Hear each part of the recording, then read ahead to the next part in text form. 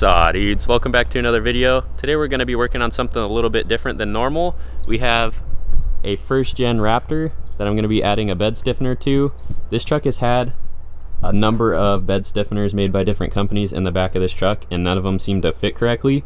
So I'm going to go ahead and make one that actually works properly.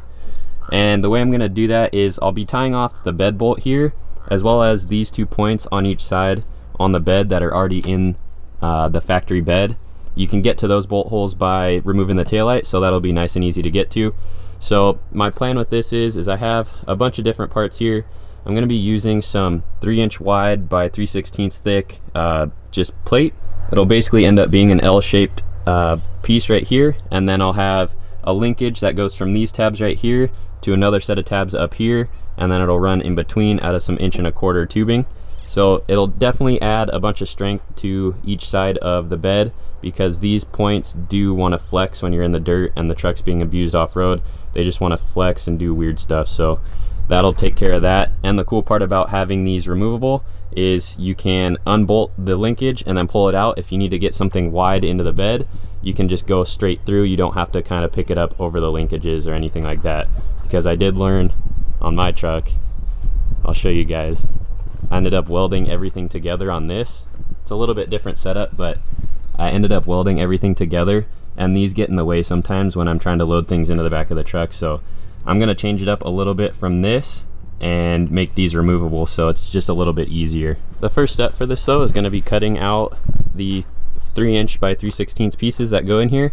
I know from this point right here in the edge of the bed to about here is roughly 16 inches and it's also 16 inches from here up to where I want to land up here. So I need to cut four of those pieces out and then I'll start making the little um, basically stub pieces that go in between here for the inch and a quarter tubing that will run in between the tabs. I'm going to use these weld washers to cap the tabs off and then they'll sit in between the tabs just like that. So it'll be a nice perfect fit. So I need to start with that first and then we can start connecting the dots and getting everything kind of put in place.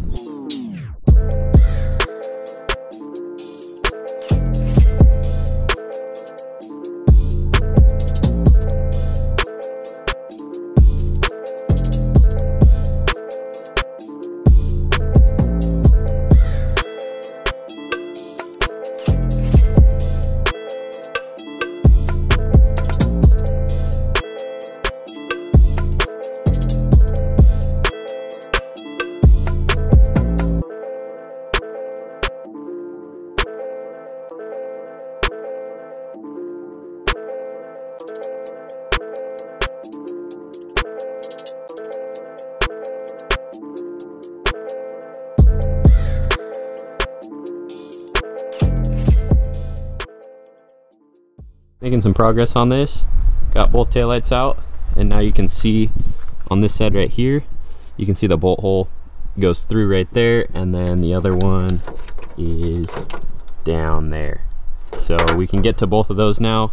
As soon as you pull the tail light makes it real easy to get to those and I'll be able to mark from the back side now with a pen and mark on my plates where the bolt holes actually need to be and then you saw I did get these all welded together. These are ready to go now. Uh, I just need to drill the hole here for the bed bolt to go back through.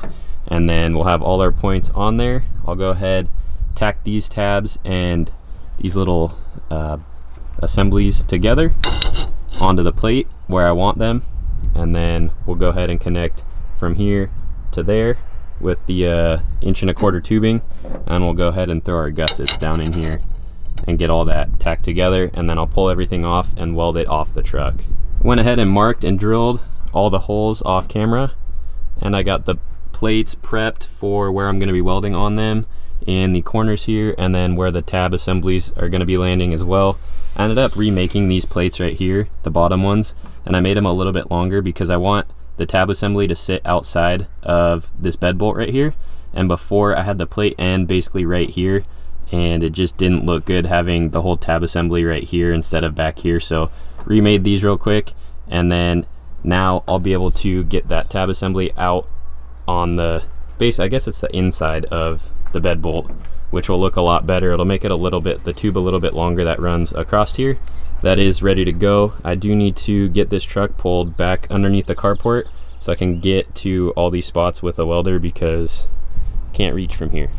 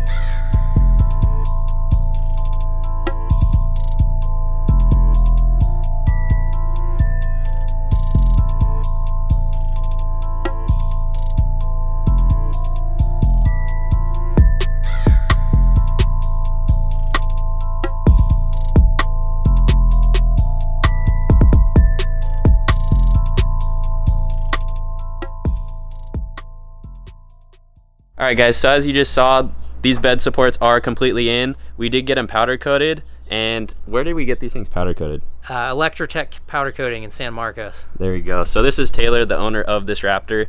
I did these for him just as like a little side project. They did come out super good. I'm pumped on the way these things came out.